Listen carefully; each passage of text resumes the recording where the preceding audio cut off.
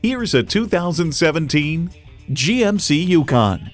The best ability for your next vehicle is capability, and this Yukon has it. It's equipped for all your driving needs and wants.